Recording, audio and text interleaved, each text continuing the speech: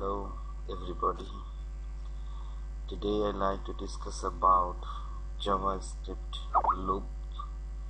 JavaScript loop means the block of code executes number of times until the given condition is false. This is the co concepts of loop and this concept is implemented by using um, while loop, for loop, do while loop, for in loop, etc. in JavaScript. Today I like to discuss about your while loop. So I like to describe it with an example. So let's first write down the script tag and then language we use here is JavaScript. Great. This is the starting of a script and this is the end of script right the syntax of while loop is first we will have to say from where the looping will start. Okay suppose this is the variable i and we initialize its value as 1 right? That means the loop will start from 1 okay? Now question is how long the loop will be executed until this condition is false means until the value of i is less than equal to 5 okay? Now this is the starting of while loop and this is the end of while loop. What we like to do here simply we like to display whatever inside i right? After displaying i we will have to increment. We will have to increment i. Means after displaying i i will be incremented. Means the value of i will become 2 and uh, then again it will check the condition. And still the condition is true because and now i is 2 and 2 is less than equal to 5 again 2 will be displayed. I incremented i will be incremented.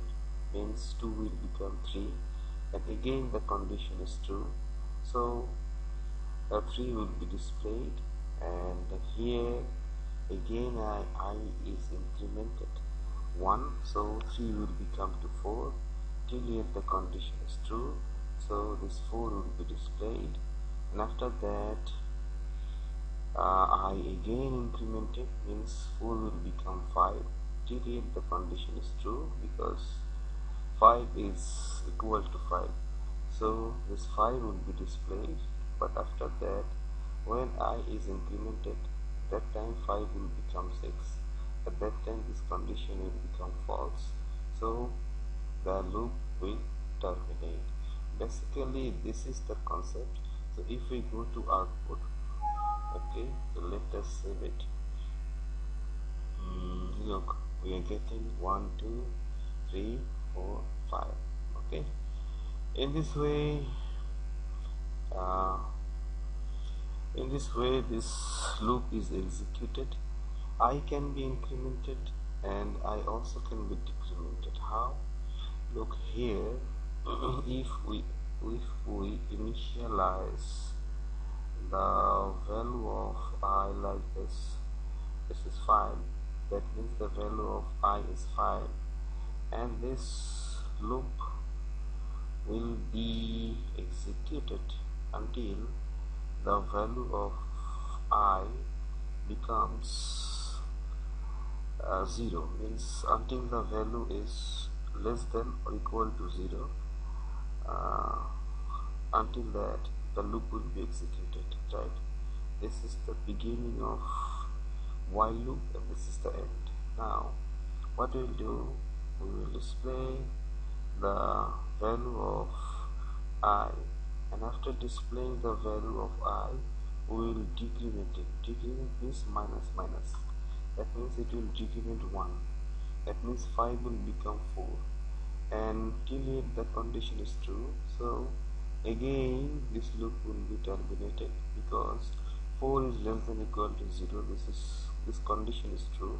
So again error will display 4 again i is decremented. Means 4 will become 3 till yet the condition is true.